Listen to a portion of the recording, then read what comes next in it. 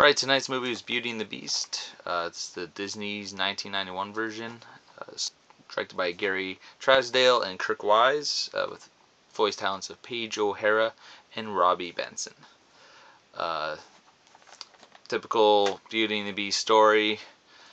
Beauty uh, gets kidnapped, well, not really kidnapped, but held prisoner by the Beast, who tries to force her to love him starts showing his true sides because he's cursed and magical creatures, magical talking things around the castle.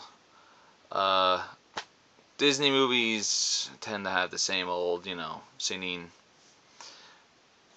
playfulness, good-hearted stories. They take the classics and they, you know, put the Disney twist to them. That's when they still kind of have the dark little attributes to it, which is kind of nice compared to some of the other Disney ones. You know, Disney always tries to keep the dark with the light, you know, give kids good moral, uh, you know, standards and all that. So this one has that whole, you know, story behind it of the beauty on the inside, uh, and you know how you know a beautiful woman can still love a hideous beast, because um, she can see on the inside he is a gentle soul.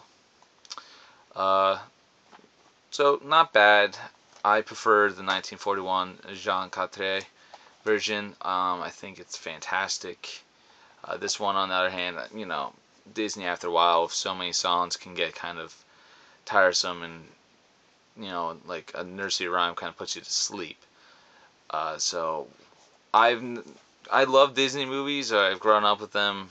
Uh, but I still find it sometimes that I, I prefer the an actual like, story an actual without the music straightforward like blunt in your face story which makes me like the 1941 version uh, more so than this version.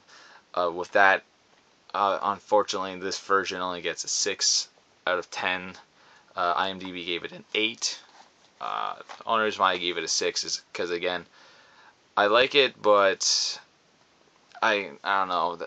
I, I like the actual real story, um, and you can tell. And with this one, they did cut a lot of the actual original story out of it to make it more, you know, Disney, and a little bit more, you know, I don't know, the Disney ideal of it.